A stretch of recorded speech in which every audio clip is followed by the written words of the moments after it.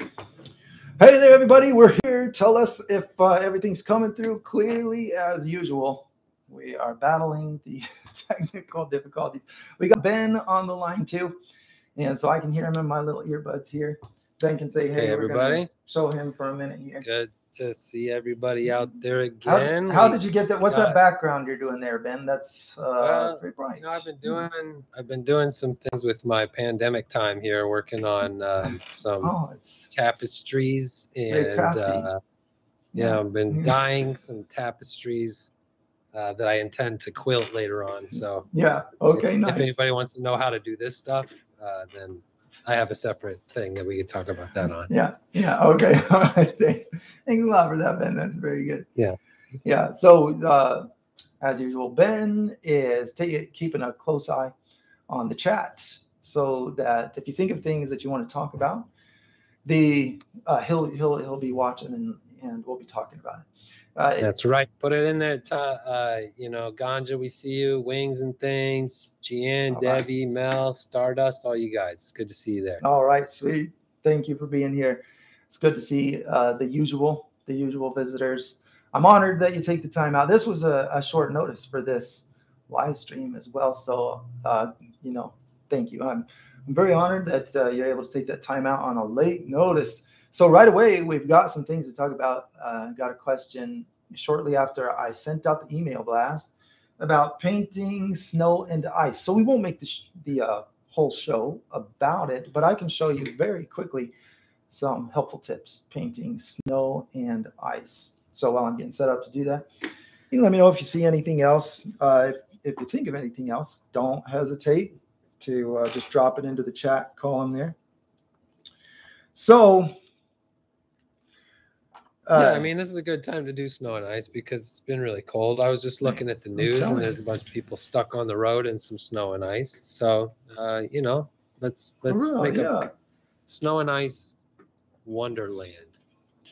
Okay, we're gonna do it. Uh, nothing too fancy. Okay, so I'm I'm thinking that what we're gonna use, and go ahead, Brian, and show the show the paints that I'm that I'm pulling in. These are my primaries. If I if I was playing, you know, if I had made an elaborate plan, I'm gonna do this specific painting, and I'm gonna show you how to do it. I might pre-mix my colors. So don't let me give you the impression that it is better to paint straight from bright primary colors like this, but uh, it's an easy way for me to quickly demonstrate whatever you want to ask about. So if you think of anything else along the way, just tell me. So I'm getting out red, yellow, and blue because snow and ice are very similar to sky in a common landscape picture. You know what's funny is I'm looking for the right lid as I'm talking. This is the problem that happens when you're multitasking. Well, you know, while you're looking for that lid, uh, Ganja's talking about how they're working on uh, ice cave mountain painting. oh, okay, very good. More specific. I like that. Yeah, Ice- made me think. Made me think of your uh, your beer cave thing that you did once. Did People could that. check out.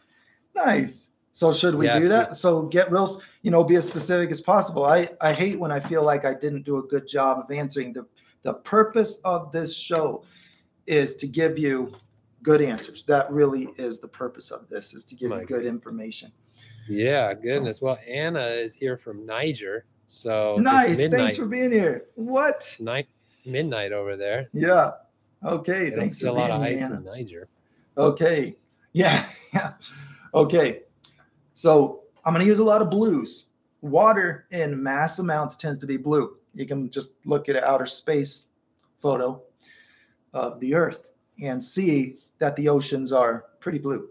So you tend to have a very blue hue. So so uh, also just because it looks pretty good, I'm going to use a blue background. So let's say we've got a cave right here. Let's let's start painting on this canvas. We're going to put blue. I don't want it to be a real brilliant blue, so I'll put some black in there and a little bit of white. And we're just going to start with a, a shadowy color, and then I'll I'll build the walls of a cave into that. See, I keep this little clippy clip right here. So Oh, nice. You got the clippy clip. Yeah. Hey, what's up from uh, Missouri, Cheyenne? See you. Uh. Rare art, rare art expressions loves your work, Joe. Uh, you know, Eva is Thank glad you. that your mural is smaller today. Yeah, we get something done, right? You know? Yeah. We're not doing anything Yeah, giant. Yeah, so this is meant to be a shadow, and the variation of colors is probably a good thing because you know the imagination fills in blanks. So while this paint is still kind of globby and wet, I just run the brush across it a few times, get a background, and Dude, what about what if you did like um like frozen ice blocks floating in ocean water? You know, like we could uh, do that. We could even make frozen ice blocks floating in ocean water Yeah, I that's mean, going like into if- this cave. like polar ice is that. melting and fracturing and you Okay, know, okay. be- I'm thinking about what that would look like. then you can put stuff on top of the ice if you want. Yeah, good idea. Good idea. We're gonna make this quick, quick version. Okay. So w- what I was thinking about just now is that is it what is brighter? You know, when you're doing water up against something, it pays to think what's brighter, under the water or over the water. And you can, you know, an experiment I did. You would laugh at me if you saw me sitting in my jacuzzi every single day studying the water. It ended up being the best thing we ever purchased. It's not easy being an artist. It's Somebody's got to do it. you got to do what you got to do. My research mean- is intensive. If you guys want to know how Joe gets the answers, it's deep into the hot tub session. It's about You got 30 minutes in when the mystery is really revealed. you got to get in there. Yeah, it's true. And uh, I was always disappointed in the, you know, this is way, way off subject, but if anybody knows why this happens, I'd love to hear. I'm always disappointed because my coffee changes flavor. I've tried everything. The second I step outside into the air, the coffee has a different flavor. I go inside, it tastes just like I brewed it, just like I want it to. I get outside in my jacuzzi. That's the one thing that's missing from the ultimate luxury experience is my coffee. And I and I take my coffee out there so that I can sit and think and learn things. yeah. Because that is what it's for, is to sit and think and learn things. yeah and my coffee yeah. tastes weird. Anyway, this is the point I was getting at. I've got a I've got my empty mug left over from my coffee. I'm looking at it. I fill it with water, and I'm looking at so you know if I turn it at one angle, the portion that's filled with water is lighter than the walls of the mug that are not filled with water. And then I turn it at another angle, and and then it's blocking light and it's darker. So so water doesn't let light escape uh, so easily. So if it's bright outside, we're going to put a bright opening on this cave. We're just going to blast this with white. We got white everywhere. We're just going to put it on here. This is the outside of that cave, okay? And that's because it's bright out there. And so when that light hits the water, it illuminates it. And that illumination goes into the water inside the cave, while the cave is blocking a lot of the light. So the end effect is you'll have a water line like I just made here that is actually lighter than the inside of the cave. So so you know this has this really magical and unique look because it'll switch, it'll be darker than the snow. I'm just going to grab a little bit of water to make this paint move a, a little better. Okay, it's darker than the lighter snow. But see the the brightness of the underwater is more consistent. It doesn't change as as quickly as it goes because it bounces the light everywhere, it traps it, doesn't let it escape as easily. So it doesn't just get dark. Whoa, whoa, whoa. Is that you, Ben? Yeah, I mean, we're, we're working on sound effects. You know, we want to like try and spice Magic. up the live stream. Magical. Whenever you say something awesome, Yeah. I'm gonna. That's good. Oh, maybe in the future we'll get that dialed in. okay. My timing needs work. I'll admit. Yeah. Yeah. Yeah. But uh, hey, kudos for giving it a shot. We like experiments around here. I mean, you know, the um, the frontier of creativity is a dangerous place. You know? Just tell You me about it. Tell me about Sometimes it. it ruins everything. Yeah. Yep. Been there, done that. Hey, let's hear it for all of the people who showed up sick today, anyways, uh, and are painting. We got a bunch of people who are sick out there. We oh see you. That's man, we got we Thanks got colds going around at my house too. Man, I'm telling thanks you. for painting with us. Uh, Yeah. we see you. It takes a real soldier to to paint with Mural Joe, even when you feel like garbage. Yeah, good job. For real. It is. You know, I uh, I tend to, go on, on the annoyingly scientific side of painting. You know, but that's only that's only because it helps it helps me. I think intuition is more powerful than conscious understanding of things. But it helps me retain the information if I have an explanation for why things are are the way they are. You know, real consistent rules. I say, well, it's like this because this, and then I can remember it. So I'm only trying to be helpful when I get when I get all technical and explain things a lot. It's not for everybody. I've noticed that not everybody likes that approach. I don't blame you. Uh, you know, Uncle Sixty says it might help if you stopped dipping your brushes in your coffee. yeah, for sure. Yeah, that happens. That's a thing that happens. I didn't I didn't put coffee out this time. Okay, so I'm gradually building this out. You know, I've been painting while we're while we're shooting the breeze here. And on the top, I'm just using a, a gray blue shadow. I just put black in it. And I'm using that to build a cave. I'm making it darkest in the back, and then you know I make it get a little bit lighter as it bends out. And I'm just making a gradient. You know, this sharp edge here, this this is to look like there's a wall, so kind of curves around behind here. So maybe you could take a little kayak back in there. Gets lighter, lighter as it comes out this way. And uh, just, just creating a gradient from my gray blue shadows to my pure white in order to get the look of this. This doesn't feel like transparent ice. Yeah, it's not supposed to. This, when you have all this color, it kind of has a translucent, like snow that has gotten wet a lot and frozen. It's kind of iceberg kind of a look there's a lot of light. When you put plenty of color and shadows, it creates translucency. So you can see lots of color that my that blue, that kind of phthalo blue that I'm using, is very good for creating that uh, translucent look. So so in its simplest form, you know, let's say this this is the simple way to quickly produce something that looks snowy is use a very bluish hue and the phthalo blue is especially good because it turns a little more toward the green as it gets brighter. So you can see that this green, where, where it gets lighter, it has this more turquoise look than it does when I put it on here. I'll just put a blob of this blue right there. See, that doesn't look as turquoise when I put it right there. And then when I when I start adding the white, I'm just getting rid of my paint. When I start adding the white to it, uh, it, it gets a little more turquoise. And that is uh, a valuable pattern when it shifts toward not to green but toward green that's that's a good uh, pattern to emulate what water does as it gets illuminated waves you know tropical waves in the sun as they get brighter they turn greener but really i think the most important thing is just that colorful shadow you got a bluish shadow you got white this is the simplest thing so now we'll dig a little bit deeper into some other effects you can do. You know, we'll put like like you said, some big floating ice cubes or something in there. We'll go. So uh, uh, Nels believes you may have to change your water chemistry in your hot tub since it sounds like you might be tasting uh, the steam. yeah, maybe that, maybe that's it. Chlorine, perhaps. Maybe Too that's chlorine. Too much. Oh, I forgot to put chlorine in it. Shoot. That reminds me. I won't be enjoying learn, it tonight. we're gonna learn more about your hot tub. yeah. Again, a taste of my personal life. It's just me. My family's not into it.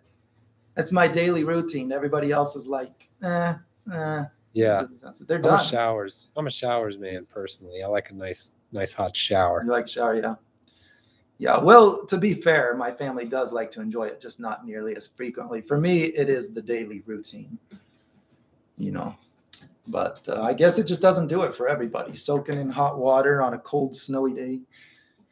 I just think it's magic. Yeah.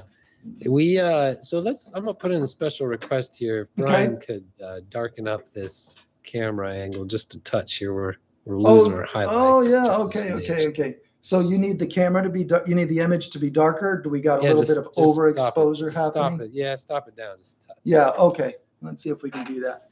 You might Mm, sorry, this is a this camera's a little unfamiliar. Just give me a second. Just give me one second to go fix this.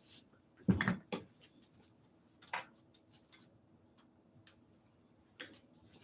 we go. Hang on, hang on. We got this. It's no problem. Um, we'll go here. Yeah, you These are my personal doing a- cameras, and Brian comes and volunteers his time, so so uh, we're a little bit unprepared here. We're gonna go to this button, and then we're gonna go up to this. Okay, so tell me, let There me put the go. earphones Much back in. Much better. It says much better. Oh, oh, okay, yeah. Sorry, I didn't have audio. Should we go any darker? You think? Yeah, just a little darker still. One notch darker? Yeah, the thing is, you're doing all these lovely highlights. You know, we want to Yeah, right. You need to see that. No, I'm glad you said it. We need to get that. Yeah, that's good. That's great. Okay, okay. That's- very good. Very good. Okay, back to where we were. Thank you for saying that. Anything else? If anything else comes up, please say so.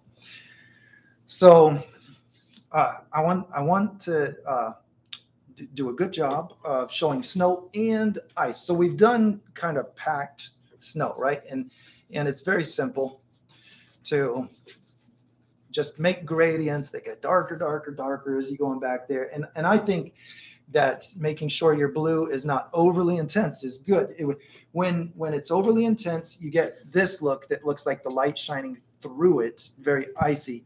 When you mute it, so I'm adding some black right now to this, and that's going to mix with the white. So it, a grayer blue looks a bit more like just natural shadow on the surface rather than the light shining through it. So you can control just how translucent it is. But now I'm going to go a little bit further on this and you know we're going to put a few little a few little stripes in here. It's getting darker as it goes into our cave. Maybe there's some little edges on this. I don't know. I'm just putting that in there because i've got it on hand. And so it gets lighter as it comes out. Now let's say that you've got sunlight. Let's let's put a direction to to the sunlight okay so uh I, I feel already like the light could be passing down this way. And so what I can do real quick to I want to show you just how dramatic is the difference between this this more colorful colorful color. I like speaking in layman's terms, you know. I like this color is more saturated. It, it has more color, to put it plainly. So to make the look of shadow on the surface, this is how I really get the look of icy snow. But but if I want to make a shadow, okay, I'm gonna move this color toward purple by adding this magenta color. Okay, one of my favorite colors to work with. People who come to my workshops, you know, they hear a lot about magenta. You know, something I'm always using. So Hey, let's squeeze in one here from uh, Ganja real quick. Do you uh, see any problems if he wants to go back and work on a painting he did like a year ago in acrylics? Can he keep working on that? Dude, why not? I don't see why not. Yeah. uh, So I mean, I get what you're saying. You're trying not. I if if I understand your motivation correctly, you don't want to be somebody that's obsessed with the past. You don't want to be caught up in old work and and ruin the original quality it has from your first inspiration, right? You know, so that I I can understand someone's perspective if they're saying, no, don't go back and rework old stuff. Let it be what it is. But because my priorities are a bit different, I say do it. If if you feel like there's some extra knowledge to be gained, practice is awesome. You know, practice there's there is no substitute. No amount of knowledge can replace good practice. So if you're going back with a fresh perspective on something and you want to do an experiment about what is going to work, then yeah, yeah, go for it. But I say don't frustrate yourself by saying I didn't do it good enough. I'm going to try and do good enough. This I I don't think you should do that without being on a very specific mission and a specific experiment you're going to try. I go back and rework old stuff all the time. If you look if you looked around this studio, then you would see that I have paintings all over the walls that are old. I put them up so that I could look at them and and uh, put some extra brush strokes on them every once in a while. You know, Peggy is noticing uh, how nice that lavender is looking next to the icy blue. Hey, all right, good, good. Okay, so the difference that I really, want you to see. We're going to put a ridge right here. Okay. So this is going to be like, I got to make it make a shadow. We're going to go like this. There's this spike going up there. And that is catching the light on, on the right side here. We'll do the same thing here. So we got these ridges, you know, and and so maybe here it's it's just low enough that it's catching the light. So you know, I don't know if I'm dialing in my shape just perfectly, but what we want is anywhere this color is, that creates a shadow on the surface because it's the more purple of the shadow colors that's in this. This one becomes the surface reflection shadows just on the surface. These are light going into the ice and coming out of it. So you can have control over your content in that way. Uh, you can control the the um, what is the right way to say that? It's the texture of it, you know, how how much light is shining through or how much how much it's just on the surface. So I'm going to put pure white to make it nice and bright here, and then I'll I'll take my I'll take my more purpley color and we'll just get a little dab, little little dab or do right there, and we'll put it right in there with some blue. I'm gonna put a, a little nub coming out. You know how sometimes you kind of have a shelf coming out. I just want this to make sense. There. Who knows why that's there, you know, but it's just like coming out. Maybe it's a covered up boulder. Maybe some boulder got covered and it's there. So so this is the way I I just this is more of the color you want to use if you're trying to make the ground covered with snow and maybe the bushes or trees are casting some shadows, maybe just bumps like I made are casting some shadows. You want to use a little bit more of a blue influenced by purple. If you want to make the iceberg look where light shining through, okay, I'm being redundant. I'm explaining the same thing over and over now. So let's go back. Hey, well, here's something fresh. Uh, if you guys want to have your work viewed by Joe, comments by Joe. Email it right now to info That's it. at muraljoe.com. Yep. Info at muraljoe.com. Send it on over there. We'll pull it up. Yeah, And, don't be uh, shy. It's what, uh, what Uh, thoughts or, or areas that you'd like comment on, be sure to put that in there too. Yeah, and I promise I won't make fun of your work. I won't do that. It might be better than my work. I'll just I'll just give you my honest feedback. Really, I like it best if you ask something specific. So maybe we can add that. Uh, if you can think of some specific, uh, not not too lengthy. It's hard to uh, put Ben on on the duty of reading paragraphs.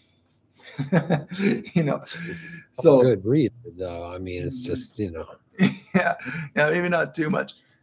I don't know if I'm that. I'm I'm not like uh, what was that guy that does all the voiceover? Uh, uh, never mind. I'm no voiceover artist. Yeah, yeah, okay.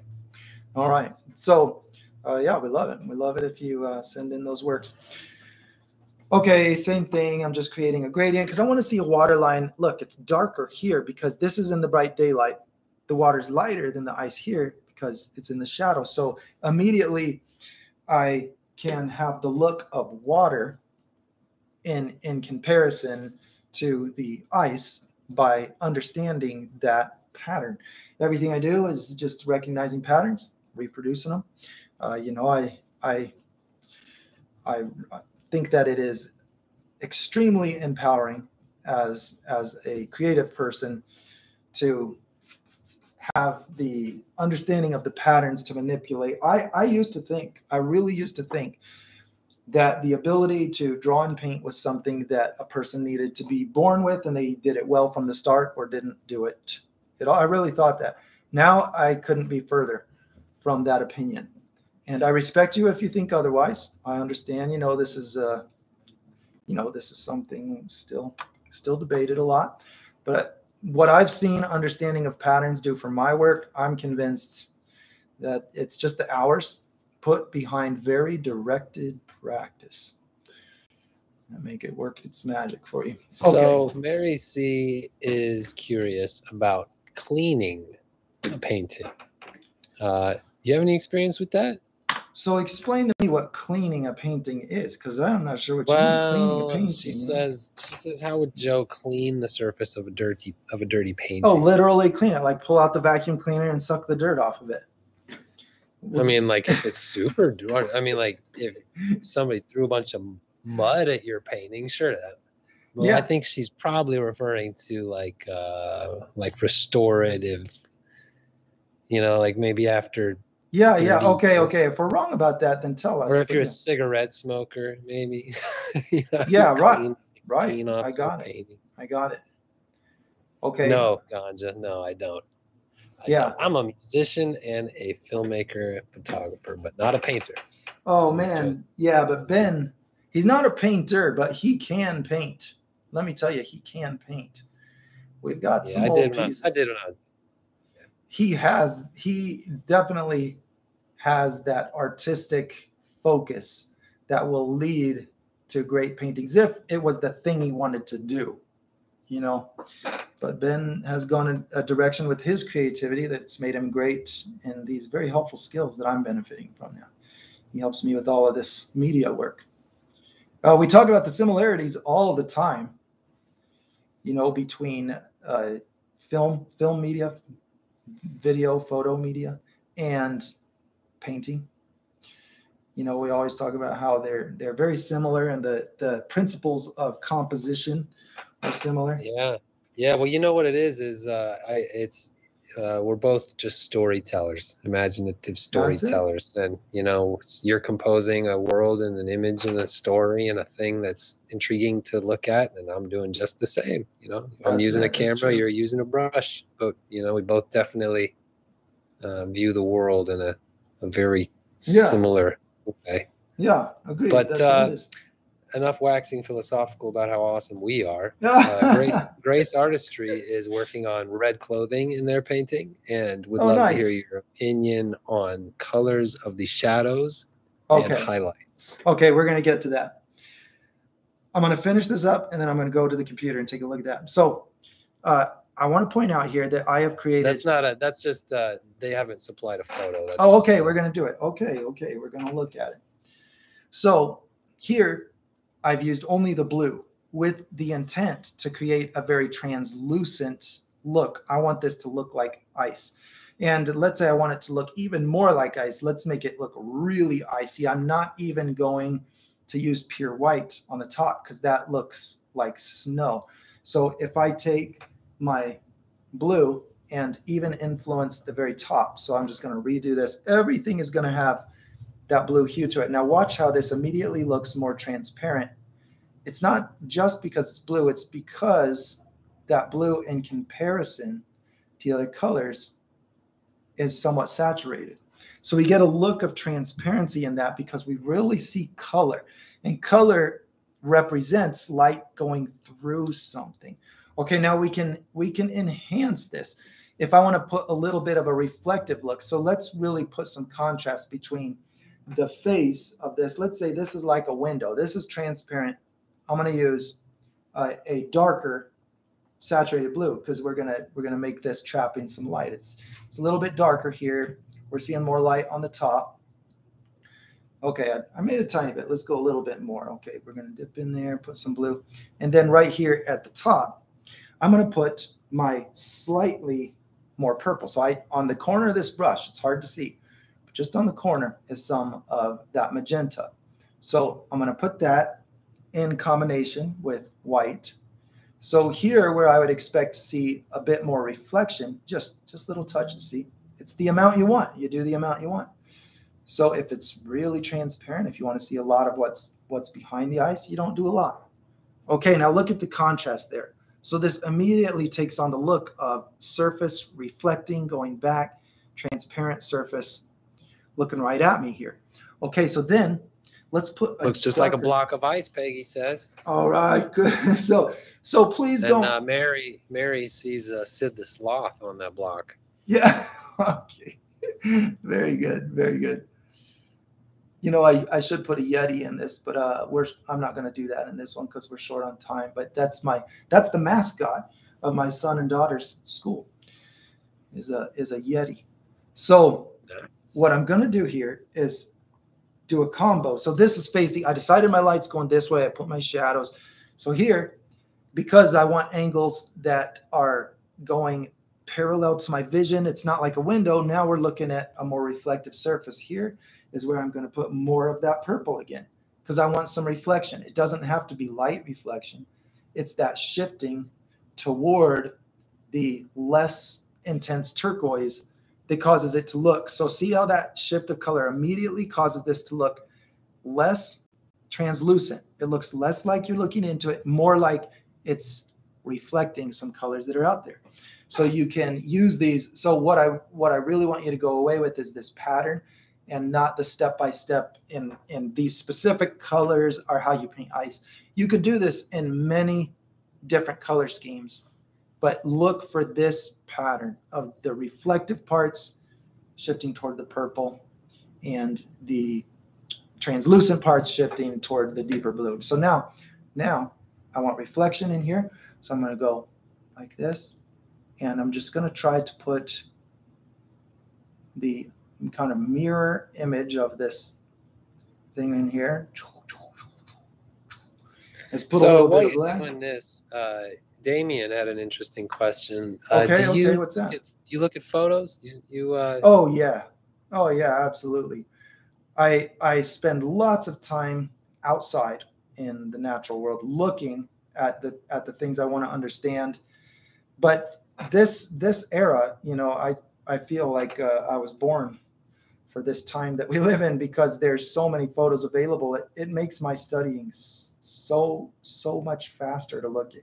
I'm thankful for all the great photographers out there because they uh, have supplied so many great things for study. So I can compare what I saw outside. I, I can say, I wonder if this is the pattern. I'll have a theory and I'll, and I'll think uh, maybe this is the pattern that I'm looking at and so then I'll study photos. And when I find that pattern uh, observable in the photos as well, then I'm very confident. I say, yes, I found it. I got it. I got the pattern. Then I go to a painting and I reproduce it there.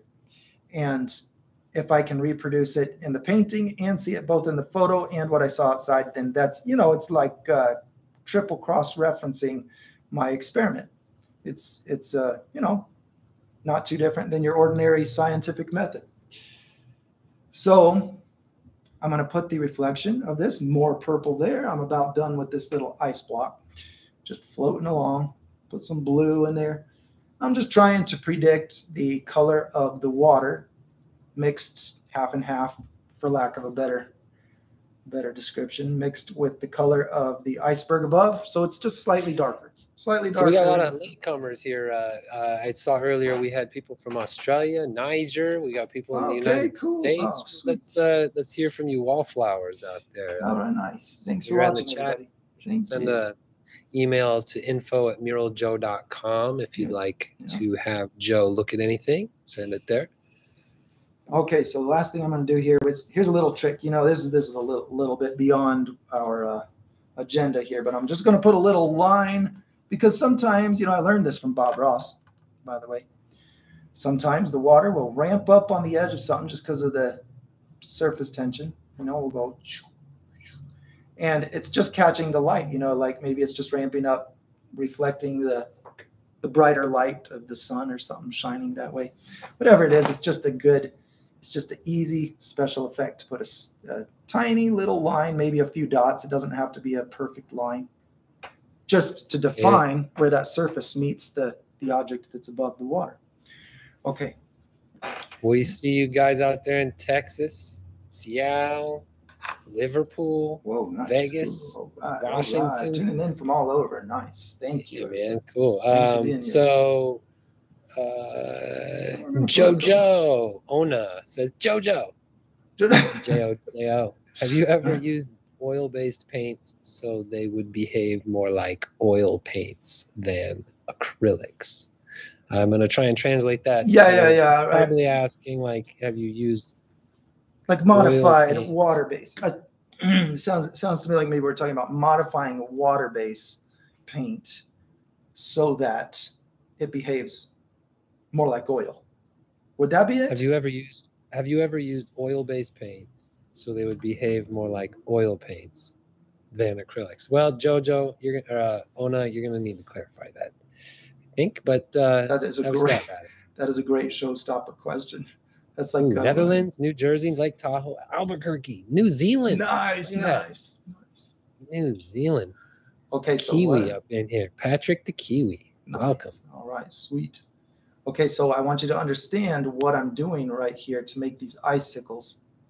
I'm leaving more white on the edges, creating this gradient, and then just kind of making the ridges, you know, just, just whatever texture I can.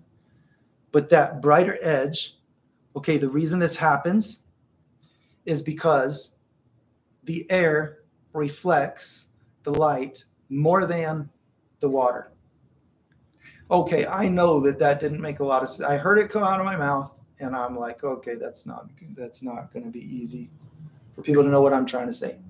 So when I paint waves, I talk a lot about how the curl, and you can look at like amazing underwater footage where you see the curl of the wave, and you see it from underwater. It's this big tube that's an air bubble. It's an air bubble.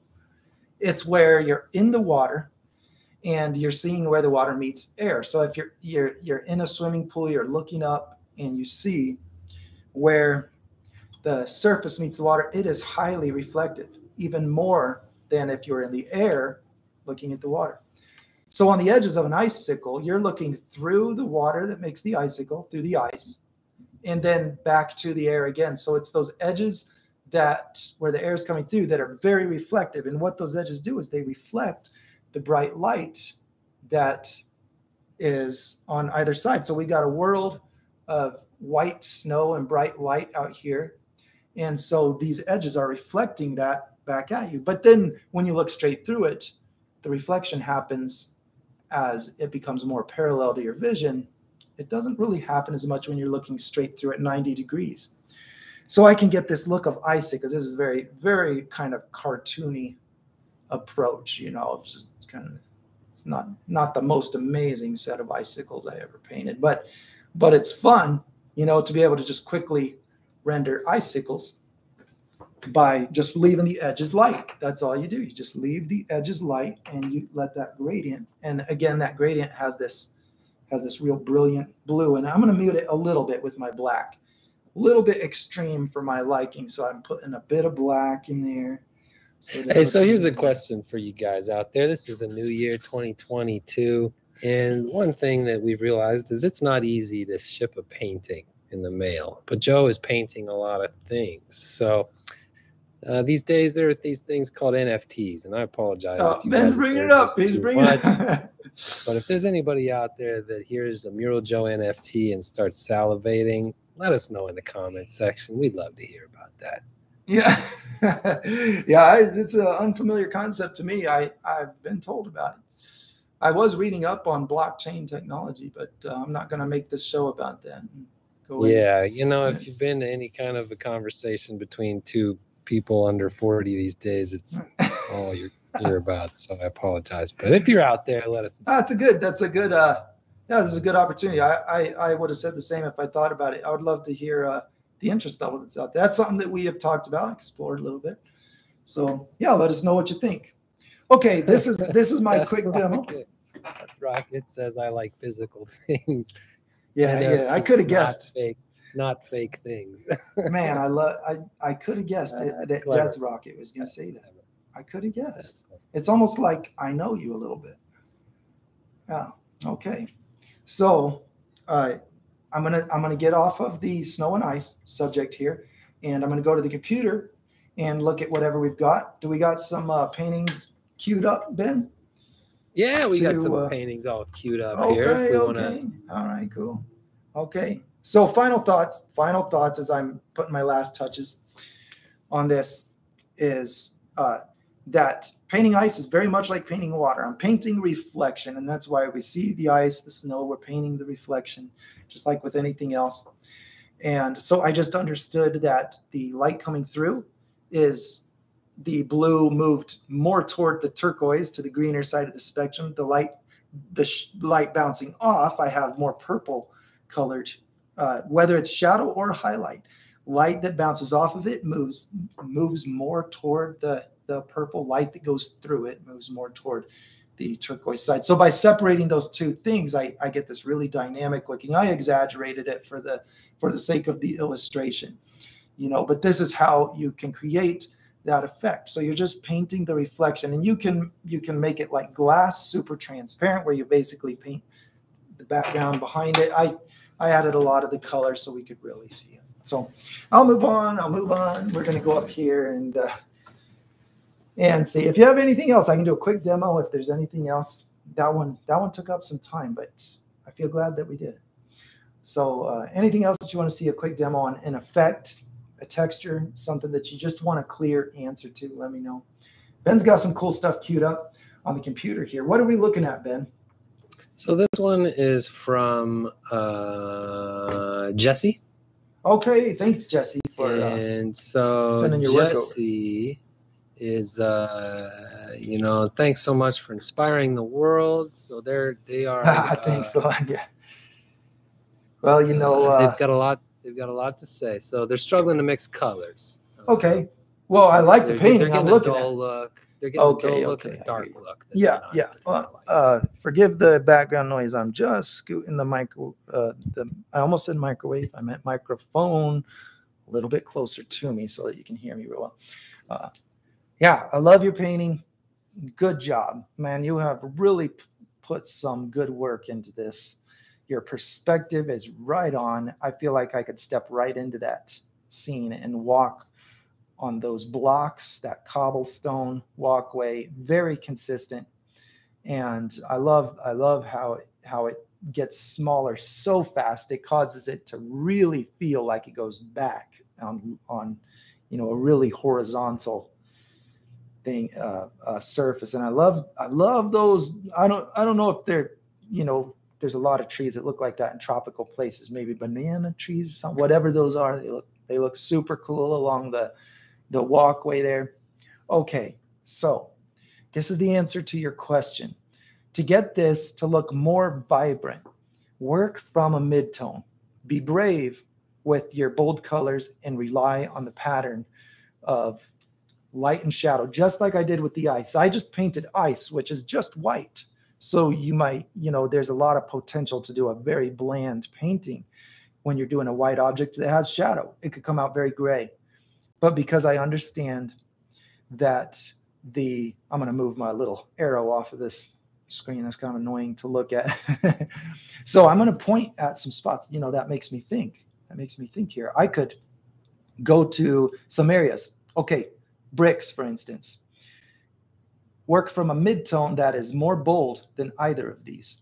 So you have an orange brick color that is a little closer to a primary color. So then you can you can put that down and then add your highlight to it. You know what? I'm going to demonstrate this because this is worth doing. Okay, everything in your picture is awesome and it would be improved by following this principle. Work from a midtone, add light and shadow. I'm going to do that really quick. We're just going to paint, paint like maybe a block of wood, maybe a brick. Yeah, yeah you know, also there's there's some interest in how do you determine uh, shadow and highlight colors. Oh, okay, very good. That's a great thing to answer. Shadow and highlight colors. It is as simple as adding the color of the light uh, that you're imagining in your picture. So I'm imagining, well, I'm just imagining white light. And to keep it simple, once once you know these patterns, then you can experiment with different colors of light sources. But to keep it simple, let's just imagine that in this picture, I'm painting, uh, okay, it's going to be a, a block of wood because I think that'll actually be totally out of place in this picture. Okay, so I'm going to paint just this this chunk of wood on here. So this color is similar to to your rocks, but instead of going to the highlight or the shadow first, I'm just putting this really bold midtone. The midtone doesn't have that doesn't have to be especially bold, but you can be as bold, meaning saturated and colorful. You, you can be as bold as you want to and the pattern will work. So you can get all that color that you're after. If you want it more muted you can do what i just now did add more black to it. So what i'll do is i'll add light to this. Okay light's going to come through the color's going to shift toward the yellow just like the blue shifted a little green it went toward the yellow light's going to go through wood shift a little bit toward the yellow which is going to make this a slightly it doesn't have to be a lot just slightly yellower. So we're just considering this to be like white light. Okay, I'm putting a little bit of yellow. Imagine that I just pre-mixed this though. I added a little bit of yellow and white to my midtone. I'm just adding that to my midtone. So now here is the bright sunny side of my object. Okay, what shape is it? It's going to be kind of rectangle, I guess, because I'm just going to make a straight line. So if I just make that that solid line, I create a hard edge, and then it's more like one of your blocks, you know? So so this look right here is very good for creating wood, very good for creating rock, very good for creating skin tone. It's good for all those things. Okay, now I'm just I'm just lightening this to my preference. There's no certain amount of lightness that that needs to be. I'm just putting it, you know, to whatever my preference is for the painting, how bright I want it to be. But notice I still have my midtone in here. Okay, so now the next step, I'm going to add shadow to that midtone. And unless this is like a razor knife like sharp corner, I'm going to have a little bit of color still visible in that. So so why don't I just why don't I just put a little bit of a softer blend? We're going to see some of that I lost. I lost some of my the paint started drying on me. So we're going to add a little more. So that was black. This is a red oxide, you know, but whatever color. Use any color you want. Okay. Peggy says it already looks like wood. All right, sweet. So I'm just restoring my mid-tone because it started to dry kind of quick on me. Okay, so I'm going like this. Now I'm going to add a shadow. What color is my shadow? Well, look, I got blue everywhere. I'm going to make the shadow on the blue side. But when I mix blue with anything, it's going to turn greener than I want it to because paint, as opposed to light, turns kind of green when you mix it. So the blue is going to turn greener than I want it to to represent natural light. You can look at a lot of my other videos and, and see that paint mix is different than light. So to correct that, I'm going to add purple. So now I'm adding this magenta. Okay, we've got magenta, we got blue. So I'm really just adding purple for a shadow because I decided that the shadow should be on the blue side. Okay, now I'm going to go like this. You got to make the noises. Okay. Okay. Now notice the diversity. Good job, Ben. That was perfect. I was trying to supplement. Okay. If you're shooting lasers, you need somebody to shoot lasers back. This is it. That's the whole demonstration right there. That's all you need because I've accomplished the three-dimensional look of light and shadow from a midtone. That tiny little strip will add so much interesting, vivid color to a painting. And look at the diversity in my shadows. This will happen by accident all over the place. When you're adding your shadow to a midtone, little bits of your midtone pop out and you know maybe you get the intermixing of it and you, and you just get this diversity. If you if you like it you do it. You know you can just pre-mix them and, and forget about that too. So you have this pattern and having color that color in between the light and the shadow is the effect of that and then the consistency that you get too. When when you you know maybe there's like a I just realized this might be fun to turn this into like a shipwreck launch. You get consistency between light and shadow. When you work from a midtone, they look like they're from the same from the same object, you know. So you got a couple of questions here that are similar okay, in nature. Okay, okay, uh, so Death Rocket says, does the ice get harder to paint if your environment has non-blue colors? And then in, I believe, a similar question, Mary C is saying the bricks shadow side in that painting will be reflecting the color of the building, wouldn't it? So these are two instances of the environment determining the object's color. Yeah, for sure. Yeah. So you decide. Well, you know, well, you you. Yeah. What things should they consider there when they're considering their environment and how? Right. Yeah. Well. Okay. So, so you know if. So there's all kinds of things to think about. This is where studying photos is actually a very helpful thing, because you know uh, a photo you might see complexities that you that you don't think to imagine. You know maybe there's just a, a touch up reflection coming off the surface. All i'm doing now is reproducing the colors plus blue and adding purple to make it not turn too green just like i did up here to make this reflection in the water under you know i wanted it to look like it's reflecting on this water. It was just kind of a fun effect. So so i put that in there and uh, maybe it's not spot on with the colors but you know it's the it's the idea so thinking about that pays off. You know, I my goal here is not to make sure that I consider everything and nail that this is not a keeper painting, it's a demonstration.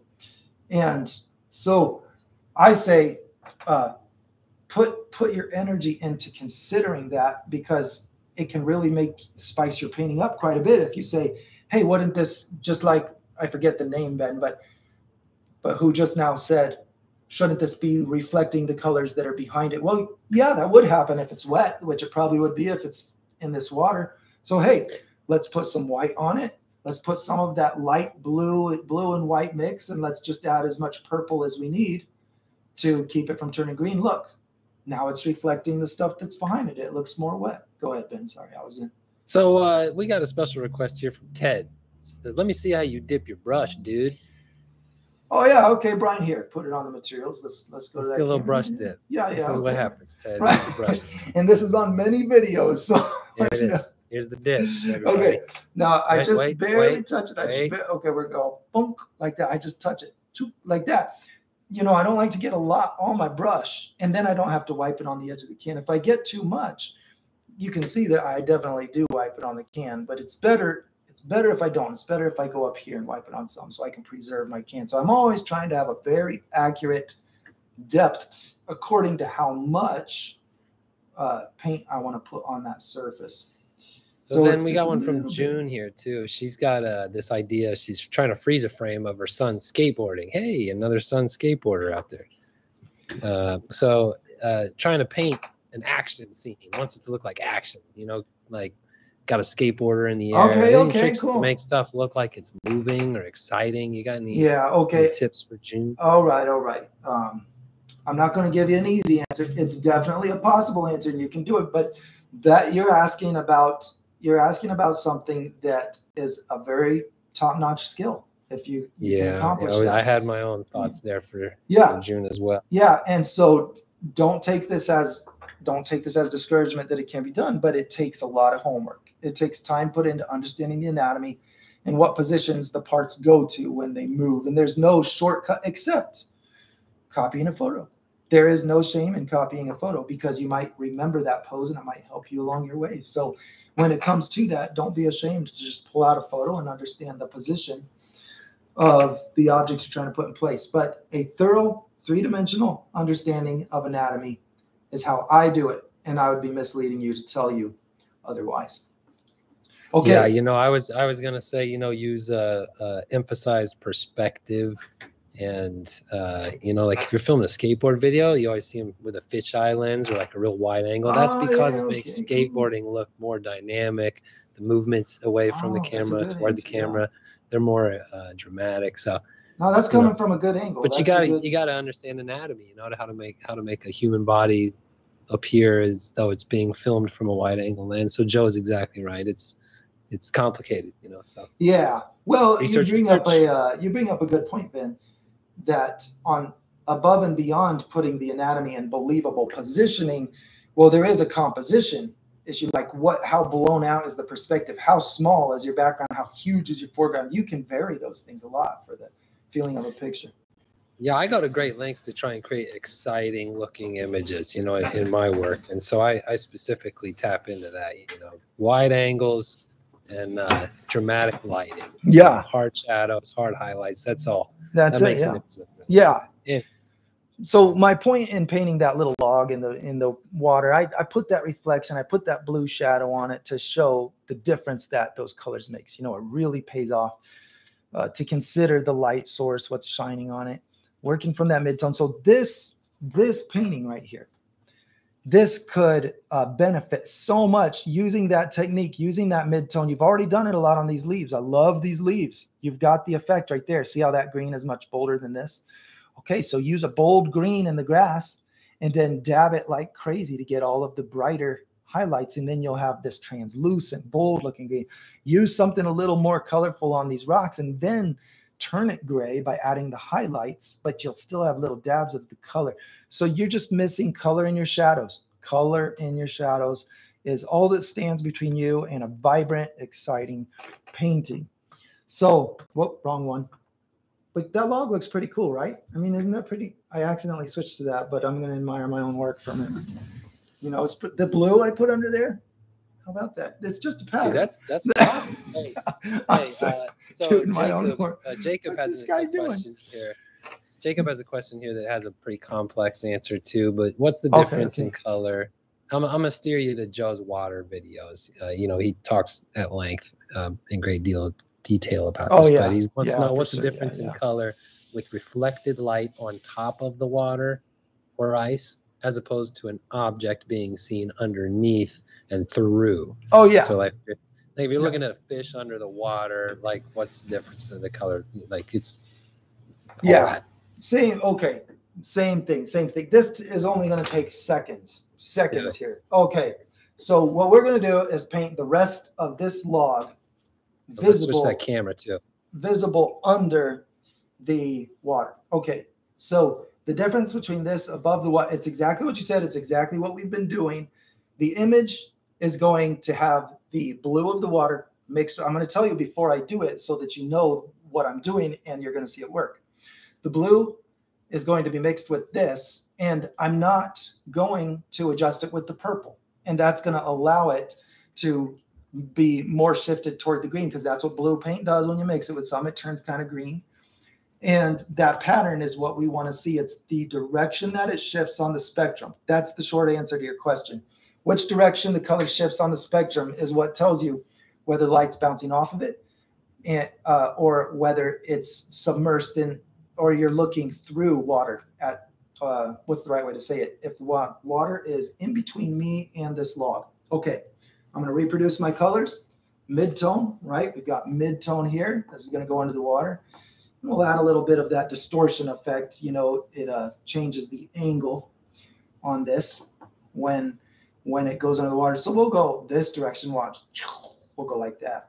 See, that'll be a nice effect for this. Kind of flattens it out. Goes a different different way when it's under the water. Okay, we're gonna go like this. Now we're gonna add the highlights. Okay, we need lots of blue in here. Lots of blue because this is underwater. And because I'm not bending this blue toward the purple like I did here, where it's reflective and out of the water, so it has the look of being subsurf subsurface, right? Just like this. It looks like you're looking into the surface where I have the bluer, more turquoise color. Okay, I'm going to add white to get it to the same darkness as the rest of the water. We're just going to kind of do a, a very rough job here. You know, we're going to try to just smear that in here. I'll just grab some water like this and just do this. So it looks like it's shortcut to blending. Just smear it off. Like that. Okay. Now I've got the blue mixed with this log. I'm going to bring that color right up here. It's going to be less and less mixed as it comes up. It's going to go right through, right through here, right to that, because this is just reflection. So I'm going to interrupt that reflection right there go right there. I'm going to put a little bit of, of um, I'm thinking that the reflection might, I don't know if it's lighter or darker, to be honest. That one's got me. But this little triangle where it's going to go, that's where the log is coming through, the reflection right there. Okay. And then we're going to go right here and add the bright highlight side of it. So we've got blue mixed with it. We did yellow. I'm going to use all the same colors, yellow, yellow, red, orange, blue. Mix them together. Now that greenish color is exactly what causes this to look like it's under the water because in comparison, it's the context, it's the comparison. In comparison to what it's surrounded by, that is much greener uh, than the other than the other colors. So this immediately looks like it is the orange color of that log combined with the blue color of the water.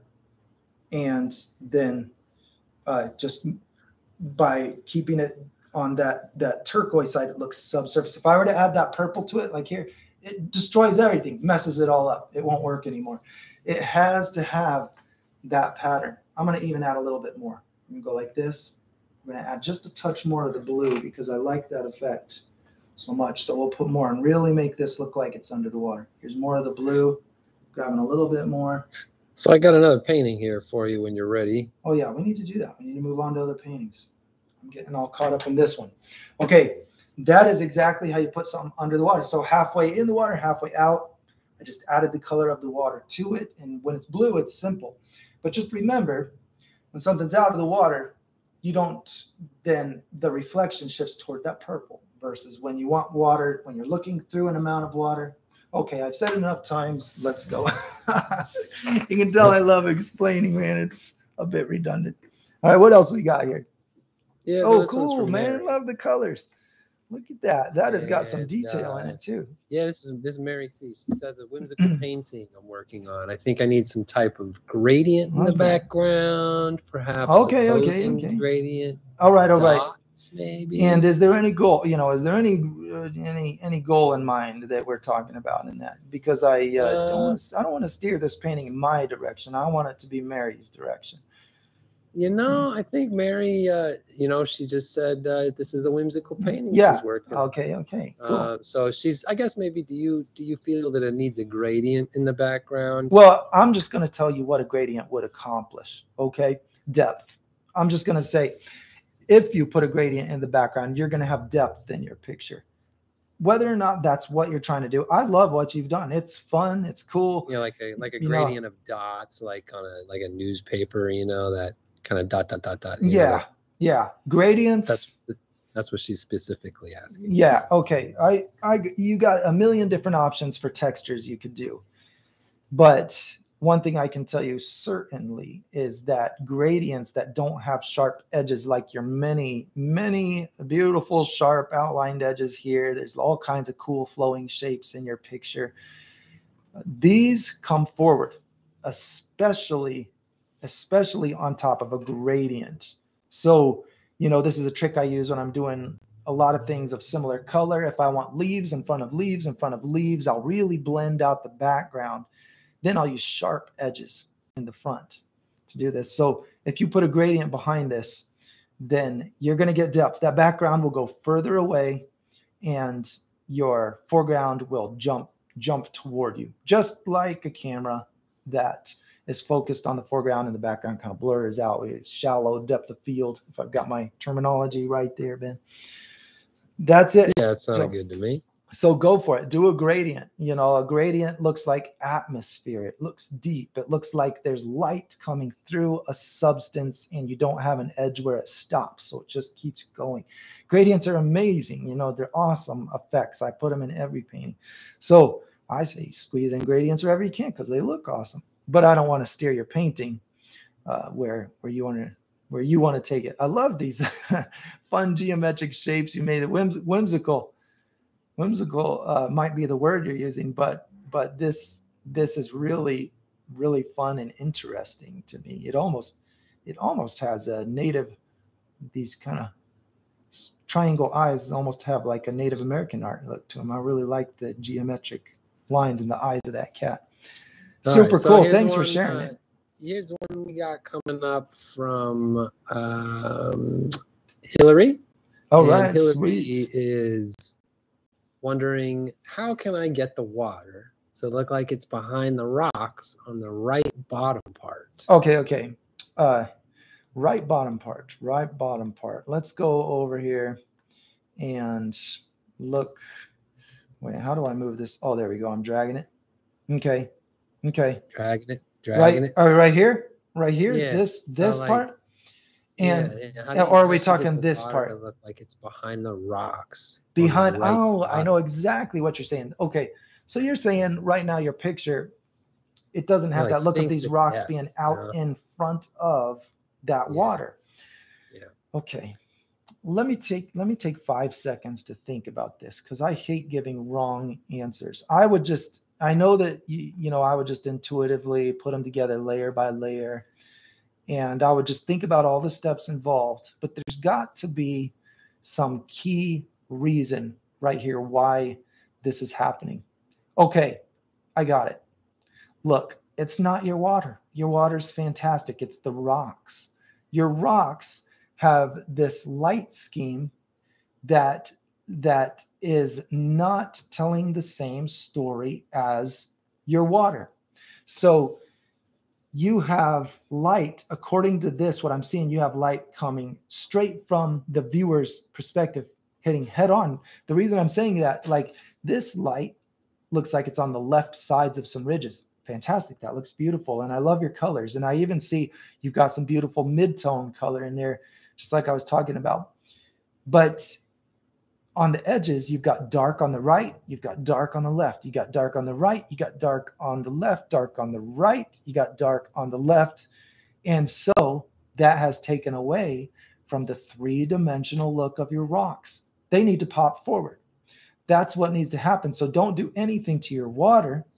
Make your rocks have lighting that says they are in that environment and they will pop forward. So choose one side. Well, you can you can keep them the way they are. I'm going to zoom out, see if I can see where your intended light source. Okay, in your clouds, your lights coming from the left, and your rocks, the lights come from the left. Very good. Put some light on the very edges, right? Do you see where my, do you see where the little handy hand is? Right here. Yep, you, you see, see the handy hand. Okay. Right there, make it light. Right here, make it light. And this is good. This is good. That's just a crevice, you know. And uh, these dark shadows, if you make those a little bit bluer, just a little bluer, make them visibly blue, it'll look like they are they are in this environment reflecting some blue colored light from all of this water that's on the other side of them. And that'll put them in that environment. You'll have the bright highlight on the left, you'll have the blue reflection on the right. They'll pop forward like magic. It'll just come right out right. at you. Hillary saying yes, yes, two exclamation points. Okay, that's it. You got it. Keep going. The painting looks amazing. Keep going with it. It's awesome. All right, cool. So we got one here on some red clothing. All right. So we are going to switch on over to this right, one, which right. has the red clothing. He's working on the switch. Right We're just here. looking at maybe spinning.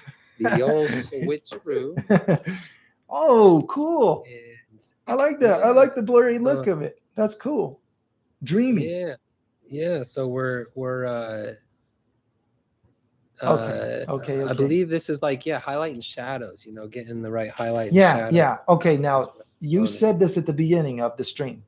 You said yeah. we we want to. How do we get lifelike colors on this red clothing? Yeah. Is that yeah, it? I believe yeah, that was the a well, while ago. Yeah. Midtones are the theme. Midtones are the theme here. You can uh, do the same thing. Okay, I'm just going to point specifically at some areas.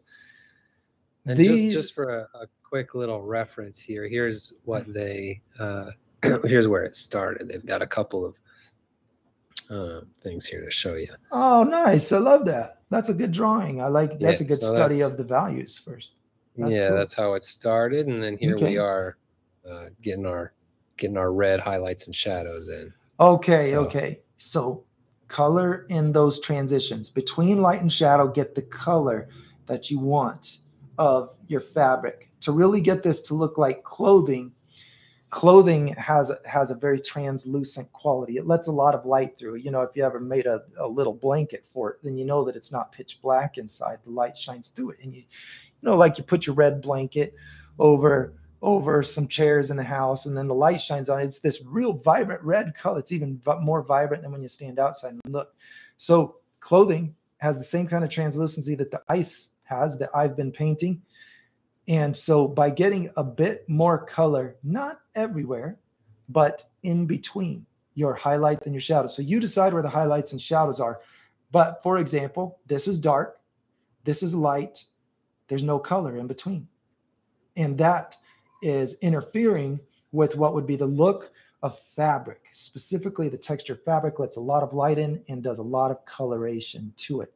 Same thing down here. You're on the right track. I see color in between the light and shadow.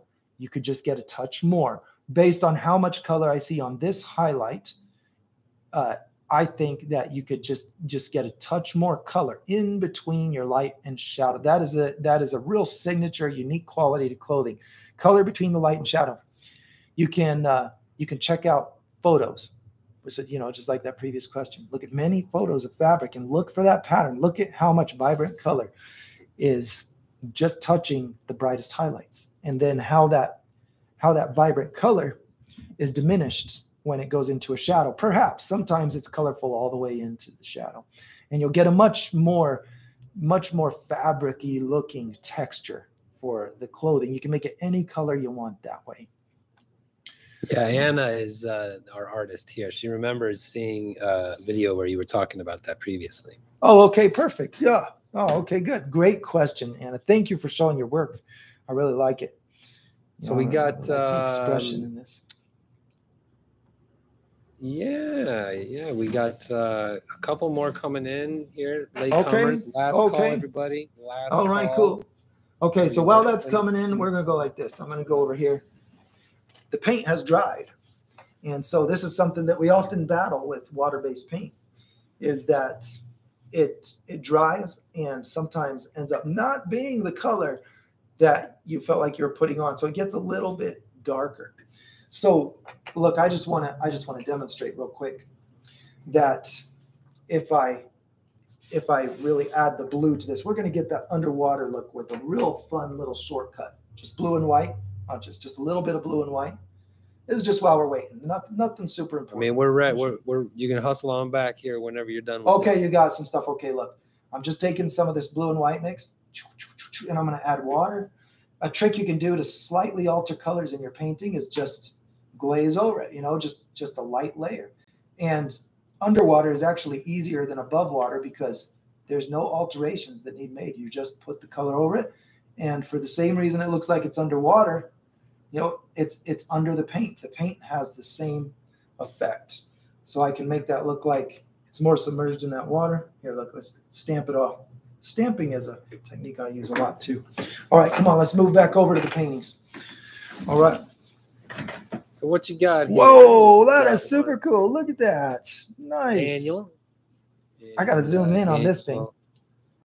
Oh man, that is awesome. Thanks for sharing this. Thanks for sharing. Daniel, aka Death Rocket Daniel. Really, really. I don't think I have ever done a drawing that cool. That is super cool. Good job. Illustration for a story that Daniel is Ah, writing. Okay, Uh, okay. Oh, I he's like this little looking- elfie looking character looking over here. That is really cool. Yeah, he's looking for your comments on the perspective. Um, is it supposed to be rather fish eye-ish? Okay, okay, yeah, very good question. Okay, I'm going to analyze it. Uh, first, I want to say what I love about it because uh, Yeah. we were just talking about fabric, and look at the midtone in this fabric. Look at that in between light and shadow. Look at the vibrant color. So even if you're not going for this exact look, I mean, this is highly stylized, right? But let's just look at the pattern. This is worth looking at. Daniel's picture is an awesome example of how you can get over lots and lots of details. And here we've got the less colorful highlights. It is in between the light and shadow where he's got this real kind of what is that like a salmon salmon color, and then uh, and then the shadows are are maybe less colorful because they're dark. So we got all that color over here on the green. We got lots of color, and then the highlights have all the white added, so they're maybe not quite as colorful, and it looks like a good illustration of fabric floating around, wrinkling, even on the white look, this color is browner. That gray, it's not gray, it's a shade of brown that's in between the white and this right here, this more bluish gray. I'd say that's closer to what I would call a true gray. A matter of opinion, of course. But look, it this has the most color. Those tones in between light and shadow have the most color. Good job, Daniel. I love it. Thanks for the the great example of the using the mid tone. You are on the right track, my friend. That that perspective is dialed in. You just, I know what's going on here. You sent this in just because you want to hear me that you nailed it. That's exactly what's happening right here. This is good. I know what I'm looking at. I would do it too. But look, I want to talk about why this is so great. This is what all perspective does. It always does this, no matter whether you're looking through a camera, through your eyes. It's the question is how extremely is it doing it? you know, maybe your mind auto corrects it. Uh, maybe cameras don't do it very extremely. But if you stand in a room, you're going to see when you look down one side of the wall, you're going to see it going down to a vanishing point. And then when you look at the other side of the wall, you're going to see it going the other direction, bending down to the other vanishing point. It bends. And so when you squish it down into a tiny picture like this one, you see both vanishing points. It's a matter of the number of vanishing points that you see.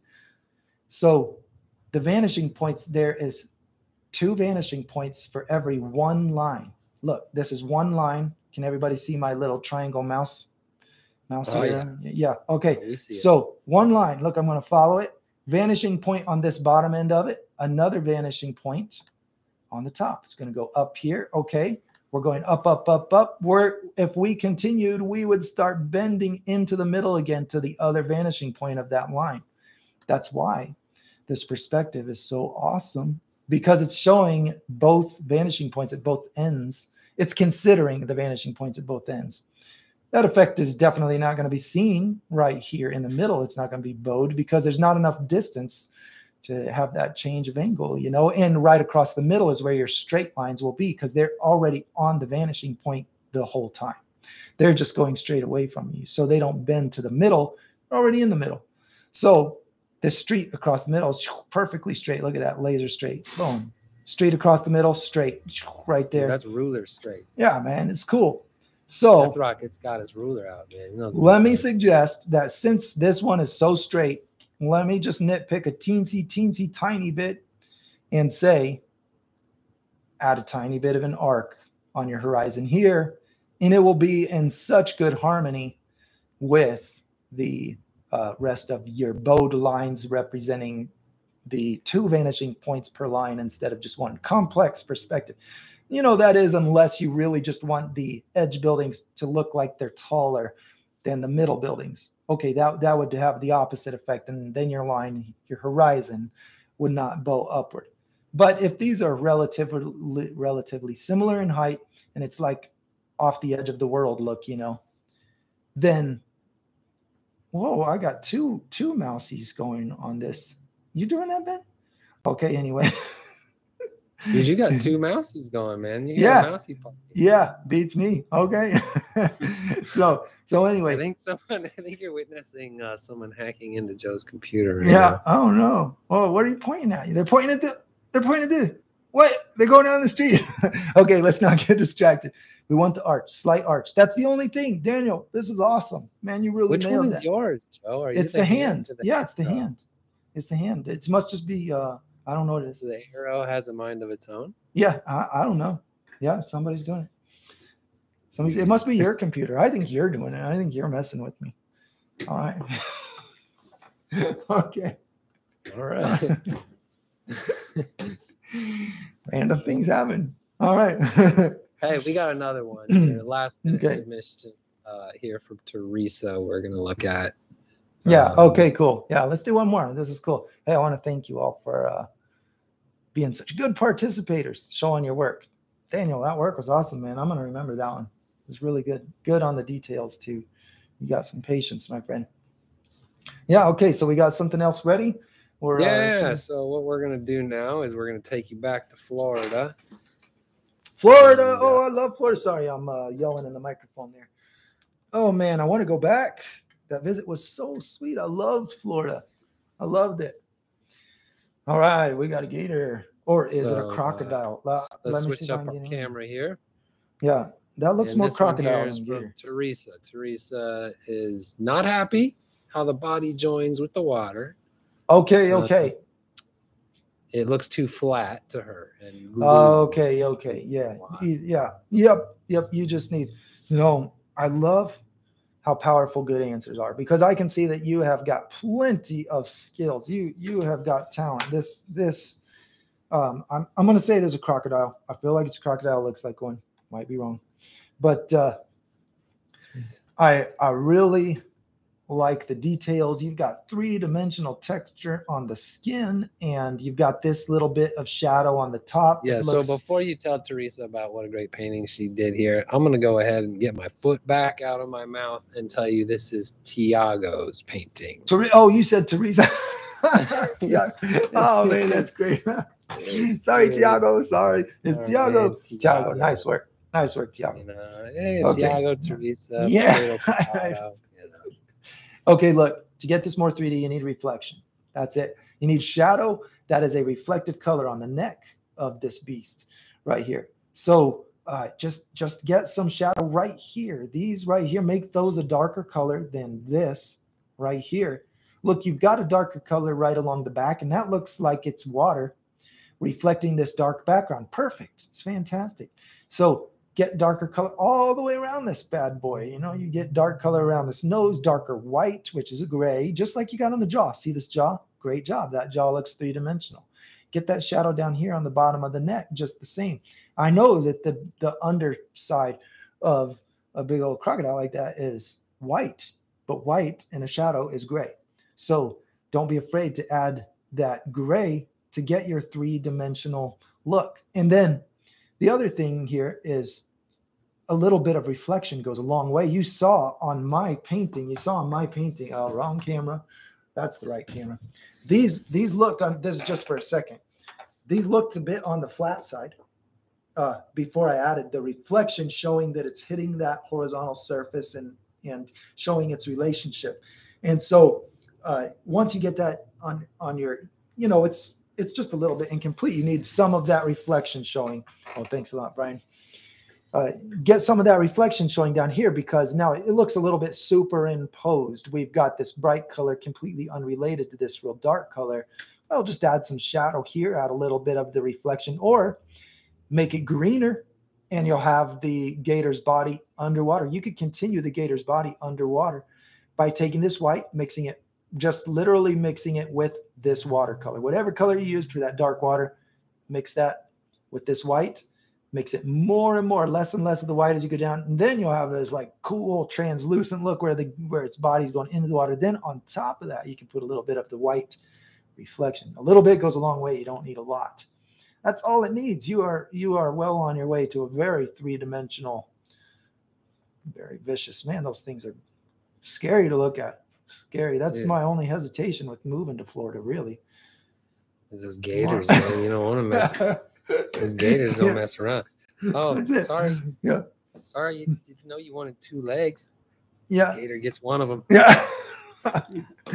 well, you know, we have precautions just in case you lose an arm, just in case you hey, lose. check this. Check this. Whoa, out, what is that? Check this one out. Whoa. Wolf pack. Man, look at that. That yeah, is take amazing. us to the other camera so we can see. All right, I'm not going to criticize this because it's amazing. It reminds me of there's a cover, a group I really like, a group that I really like uh, called Highasakite, like a Nor Norwegian group. Huh? Yeah, they got they got an album cover that's like a heart, a heart like this. This, from, this one's from Eric the Wolf. Oh man, that looks so cool. Look at that. Okay, I'm going to talk about I'm going to talk about what what is making this look so wet and gross. The reason this looks so slimy and slick, awesome effect by the way, nice job, is because it has sharp edges, not soft gradients. So wherever you have soft, yeah, Ben, that's totally your mouse. That's totally your computer doing it. Okay, the hand is mine. The white one in the middle is mine. yeah. I, you know, I don't understand it. I'm just going to go with it. Yeah. Okay. All right. So the sharp, the sharp sudden change is how you get a mirror glassy reflection. Soft gradient changes. Okay. Like here we have a soft gradient change. See that area does not look as slick and like it's clear coated or something, you know? Okay. Same thing on, on this like thorny crown looking art. That's wild. That's awesome looking. Okay, the gradients are gradual, no sudden changes. So that doesn't look wet and slimy and reflective because you have highlight and shadow, but they're soft changes, gradual changes. So it's not the mirror like edges. You know why these edges? Do you know why on a real watery, wet surface, the edges are sharp like that? It's because it is literally a reflection. It's literally a reflection of the environment. It might be a mountain range and a horizon. It might be a person next to a white wall, but it is the reflection like a mirror. So that's why you get those sharp edges that you see in here. So you've got you've got the uh, bright white, you've got this sudden change, and you don't need to think about the environment to get a good effect. Just know that you get those sharp edges. That pattern works every time. Notice this down here again does not look as watery. It doesn't look as much like the wet look down here because you don't see those very sudden changes between the white. So man, fantastic manipulation of the textures on this. Love it. Super cool. I Eric can't the even... Wolf Pack painting hearts. Can't even criticize with anything its about painting skills. Yeah, All nice right, job. If you ever have a question, send it my way. But uh, that's an amazing piece of art right there. So we Okay. got one here. Uh, this one is from Sharon. Oh, Sharon. nice, cool. I love horses, man. Horses. Yeah, so Sharon is just trying to figure out how to give this horse more life. Okay, so okay, more life. That is very subjective, but I think I feel what you're saying. Uh, you know, you let's let's just say it's more life. Like you want the look of glossy eyes. You want to see a little bit more three dimensional look, like it's in that environment. All right, so you've got blue all around this. You got this big blue background, and so take some of that blue, just a tiny bit, not a lot, and mix it with some of this shadow. Mix it with with well, whatever colors are on your edges. Mix it with some of these, and then just do a little touch of it. You don't need a lot. You could overdo it, you know, and then you'll look like you have a wet horse. But if you just do a tiny bit, it can add that look of it being in that blue environment.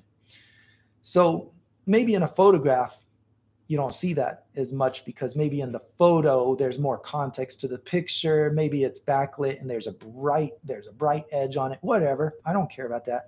You can you can make this sink right into that environment. It's a it's a tool at your disposal by putting a blue kind of violet because remember when blue bounces off of something it turns more purple. So if you add blue add a little bit of purple too around these edges and that'll put it in that environment. Use sharp edges on the the uh, reflection on the eye just like that previous picture of that heart. You know, remember that eye is reflecting the entire environment. It's glossy and wet, and you'll get a more lifelike eye if you have some kind of a little white shape with sharp edges, no blending, no blending at all. The blending is good, it's cool. Have blending because the environment has blending, but include something that has sharp edges. And then that reflection will just come right to life. And then be brave put a little bit of color in the reflection. Maybe it's reflecting some of the blue sky. Maybe it's reflecting some orange thing. Who cares? Just put some color. And then, even on the bottom of the eye, typically the lower part of the iris has more color just because of the angle and the way the light comes through the retina there. You know, you put a little bit of color right here at the base of the iris, bring that eye right to life. And all these things are little bits, little things that you can do. Great job with your this looks like fur because you have the translucent effect. Just like I talked about with the wood, with the rocks, light goes into hair, it shines out the other side. You get lots of color between light and shadow. You really nailed that. So give yourself a pat on the back for getting a good translucent, life like look on the fur texture. So, you know, it's not the details. It's not the details that are going to get the effect that you're after on this. It's, uh, it's uh, having that that sharp reading. Yeah, okay. The things I said, I'm being redundant, and I'm laughing at that dumb arrow that's floating across. The. I'm sorry. I have no idea why it's doing that. Everybody, I apologize. I'm just prepping the next Yeah. photo here for minimum Yeah. lag time. I know we've been on here for Oh. a long time. yeah, yeah. It'd be cool to see a sunset. It'd be cool to see sunset light. Hey, that's very moody. You know, you put a sunset color, right? You know, sunset colors in the top half of the eye. You know, just an idea. Don't do it just because I said. You know, it's just an idea. I just think it could be cool. Hey, here's one from uh, Damien, real quick. Okay, okay. Uh, Let's doing a out. red truck. Whoa, no way. That's a painting. Wow, Wow. man, Damien cranking out the red truck Yikes, paintings. That thing is amazing. Let's zoom in on this. Great example of what I just talked about with the eyeball, with that heart. This is you. You know what? I need to stop painting and just use your work, everyone else work. The work you guys are sending in is answering each other's questions. So look, Yeah. this sharp line, that's what is on an eyeball too. An eyeball is the small version, except maybe it's just a little dot because it's in the middle of a circle. So, you know, like a good example of that is maybe on some of these round, he's just got the bright spot in this tiny little area here.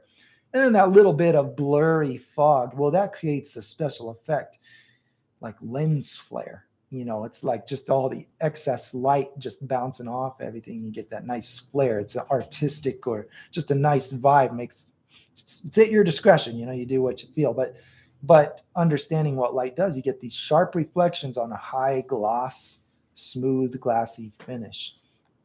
Okay.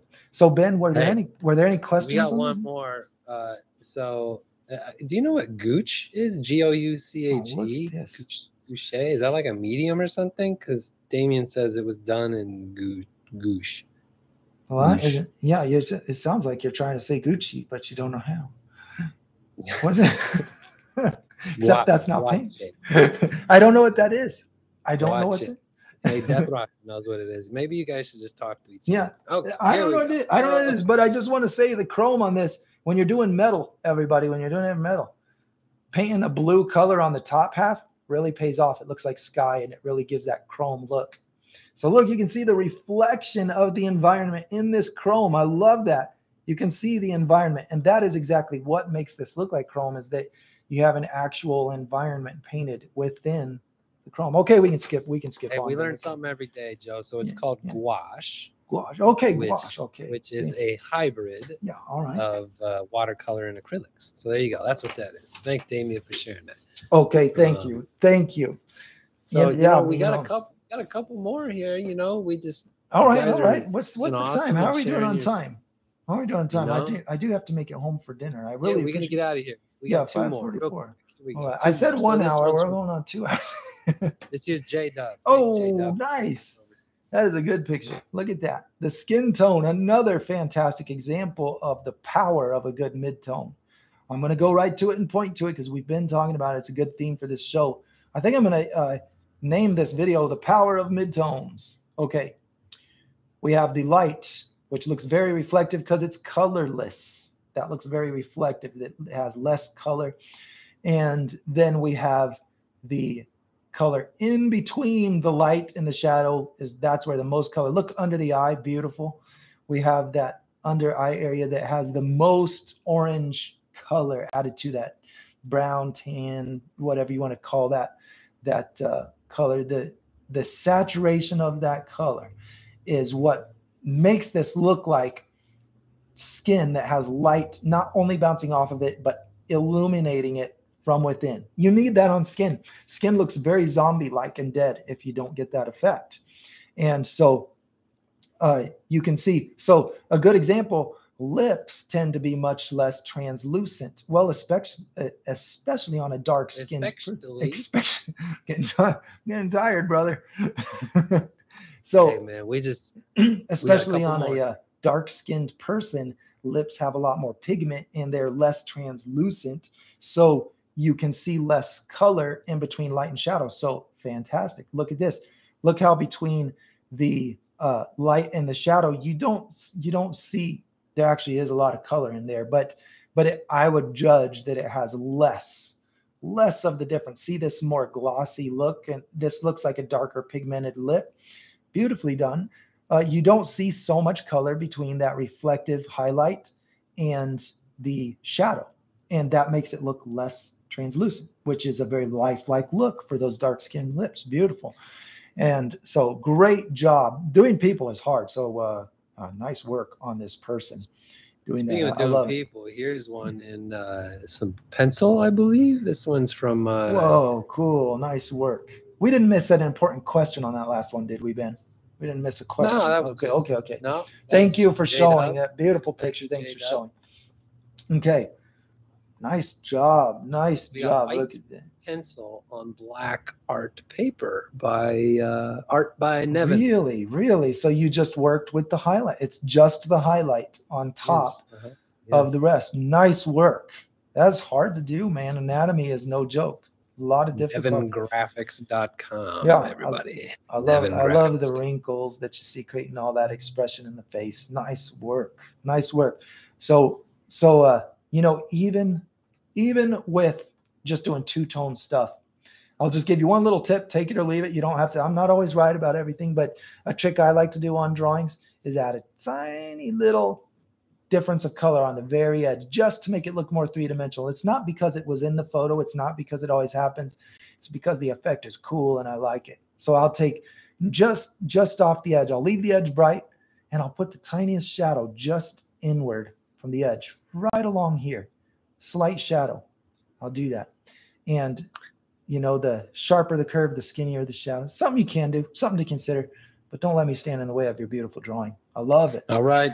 And to take it home, Nate here, he says, You ask for a sunset, you get yourself a sunset. By golly. Whoa, nice. That is sweet.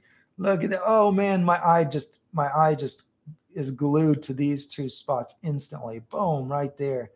Man, I love that. I got to zoom in on this sucker. Look at those colors. That is fantastic. Very nice work. So a very difficult thing in clouds. This is hard to do. So I'm going to pick at this little because it's so amazing. Every amazing painting needs some guy to pick at a little bit. You know, if you use just a tiny touch, okay, you did it super well down here. So I can't really criticize you because you understand and have done this well. This little bit of purple is awesome for blending white clouds into a blue sky. Uh, an experienced artist can tell you how annoying it is to get an overly turquoise color when you're trying to blend the white clouds into the blue sky and you get this very turquoise outline on everything. It's very hard not to get that.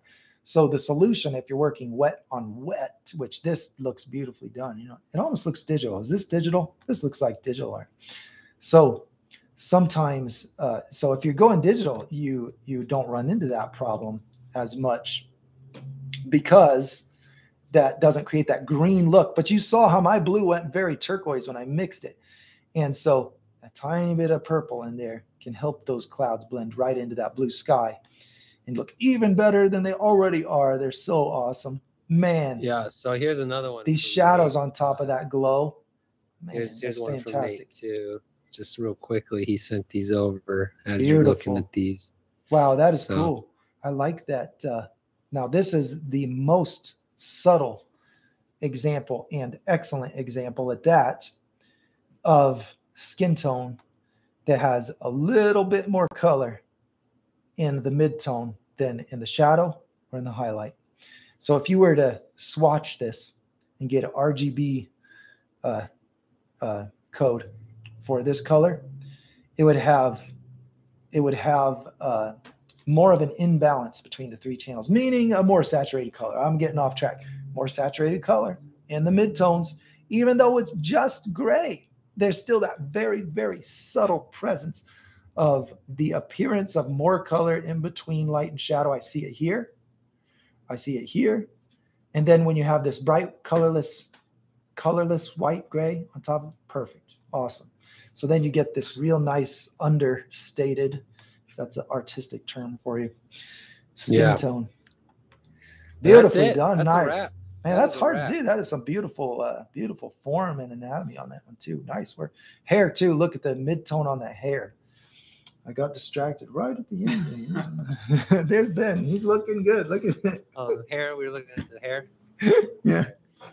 Ah, it's good. We looked enough. We looked enough. That was sufficient. Thank you, everybody, for making this a fantastic resource for people to watch in the future. If anybody ever has questions about midtones, send them to this video so that, uh, you know, I, I, I don't hate answering questions, but I like to move on to the unanswered questions, you know, and so you'll be helping me if you just point people toward this video when they ask about how you get things look vibrant, translucent, alive. We touched on all those things with midtones. All right, we're going to get out of here. I got to get home. I got to pack up, get home for dinner, and uh, take care of my family. Thanks again, everybody. You can uh, see more stuff at muraljoe.com. There's, of course, more videos on YouTube. If you subscribe, I always love that. I always appreciate it when you help my numbers go up. Helps us here. Thanks, Ben for your help, brother. Awesome. Awesome work. Hey, Looking a pleasure. at the, uh, Thanks for everybody Brian. sending stuff in. Uh, Good work with the cameras, Brian. Nice. Yep. Yep. All right. Thanks a lot, everybody. We'll see you later. I'm going to see if I can find the off switch on this uh, live stream. And I uh, really appreciate you tuning in again. We'll see you guys later.